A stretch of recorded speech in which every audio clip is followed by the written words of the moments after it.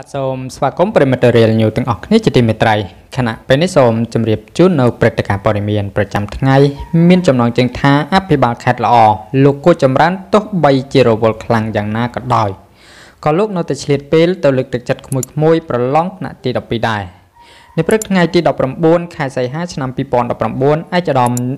ជាមហ៊ីមប្រធានក្រុមប្រឹក្សាខេត្តឯកឧត្តមគូចម្រើន អភិបាលនៃគណៈអភិបាលខេត្តព្រះសីហនុអញ្ជើញបើកវិញ្ញាសាប្រឡងនៅសាលាបឋមសិក្សាអនុវិទ្យាល័យដេជោសែនកម្មកក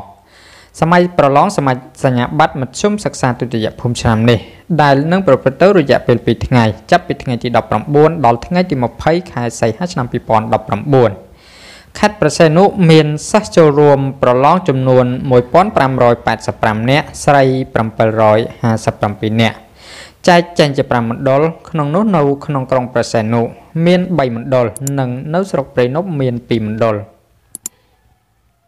បាននៅក្រុងប្រសែនុរួមមានមណ្ឌលវិទ្យាល័យក្រុងប្រសែនុមណ្ឌលអនុវិទ្យាល័យសម្ដេចអោក្នុងសង្កាត់លេខ3និងមណ្ឌលបឋមសិក្សាអនុវិទ្យាល័យដេជោសែនកម្មក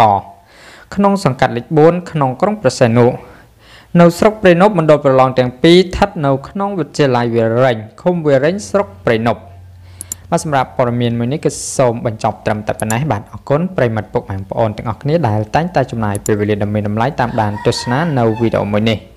បាទជាពិសេសប្រិមិត្ត Real News ទាំងអស់គ្នាអរគុណសូមជម្រាបលា